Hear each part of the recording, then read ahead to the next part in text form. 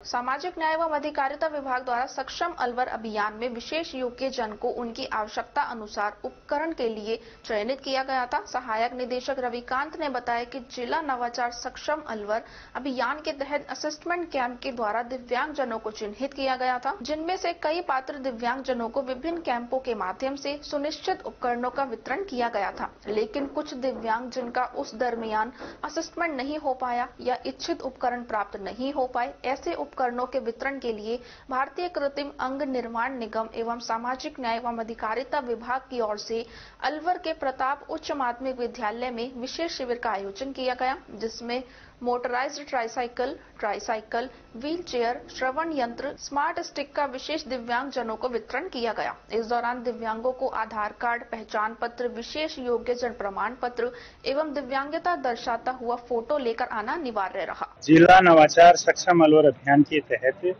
हमने पहले जो असेसमेंट कैंप किए थे, उनमें लोगों को चिन्हित किया था और उनको दीपावली से ठीक पहले उपकरण वितरित करवाए थे। कुछ दिव्यांग ऐसे थे जिनका असेसमेंट उस समय नहीं हो पाया था या जो जो इच्छित उपकरण है, वो प्राप्त नहीं कर पा रहे थे। तो उसके लिए आज हमने दोबारा से एलिमको के सहयोग से जिला प्रशासन द्वारा ये शिविर का आयोजन किया जा रहा है और शिविर का जो समय है, जैसा आप देख रहे हैं पीछे शिविर स्टार्ट हो गया है और ये पाँच बजे तक इसका समय रहेगा। जो भी आ जाएँगे उनको उनकी पात्रता के और उनकी दिव्यांगता के जो हिसाब से motorise cycle tricycle wheelchair बैसाखी स्वर्ण यंत्र आदि जो है उपकरण, उनको निःशुल्क प्रदान किए जाएँगे आज।